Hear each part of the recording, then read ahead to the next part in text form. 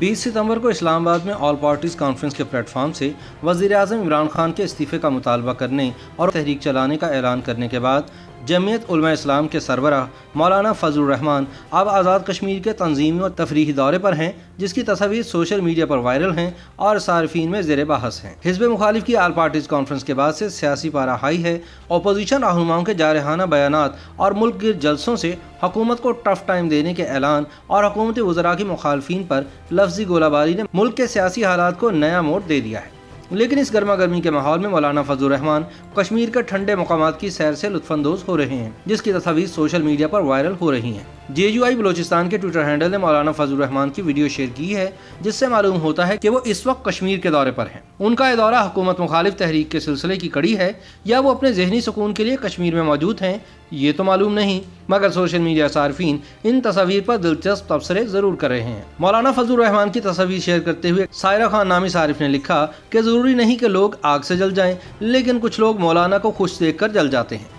ऐसा नामी ट्विटर सारिफ ने लिखा कि जो अपने सारे मुखालफों के दिलों में खौफ डालकर खुद कश्मीर की खूबसूरत वादियों में जलवा फरोज हैं, उसे हम कायद फजलरहमान कहते हैं। एक और सारिफ अकरामुल्ला नसीम ने लिखा कि मौलाना फजलरहमान हुकूमत के खिलाफ नए महाज की तैयारियों में, लेकिन तवील थकावट के बाद वो जहनी सुकून के लिए कश्मीर की वादियों में सैर व सयाहत में मशगूल हैं। प्रिंस याहिया नामी सारिफ ने लिखा कि जब दामन साफ़ शफाफ हो तो मुखालफी को मुँह की खाना पड़ती है। इन दिनों कायद जमीयत मौलाना फजलरहमान कश्मीर के सियासी, तंजीमी और सयाहती दौरे पर हैं।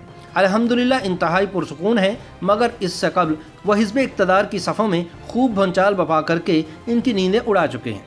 मुर्शद के नाम से ट्विटर हैंडल ने फिक्रा कसा कि मौलाना फजल रहमान ने कश्मीर की पिकनिक के दौरान जो काली ऐनक पहन रखी है, इसकी कीमत सात अरब रुपए है, लिहाजा नैब नोटिस ले।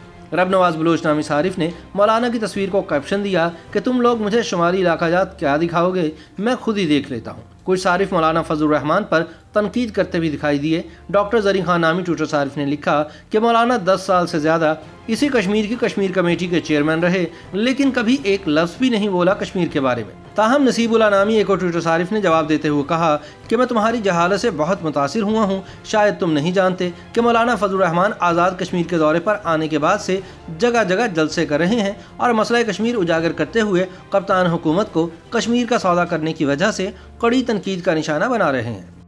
YouTube पर गूगली न्यूज़ देखने के लिए YouTube.com की सर्च बार में गूगली न्यूज़ टीवी टाइप करें। गूगली न्यूज़ के पेज पर सुर्ख रंग के सब्सक्रिप्शन वाले बटन पर क्लिक करना ना भूलिए। YouTube पेज पर अपलोड होने वाली वीडियो से बाखबर रहने के लिए बेल आइकन पर क्लिक कीजिए। आपको हर नई वीडियो के बारे में नोटिफिकेशन मौसू हो जाएगा।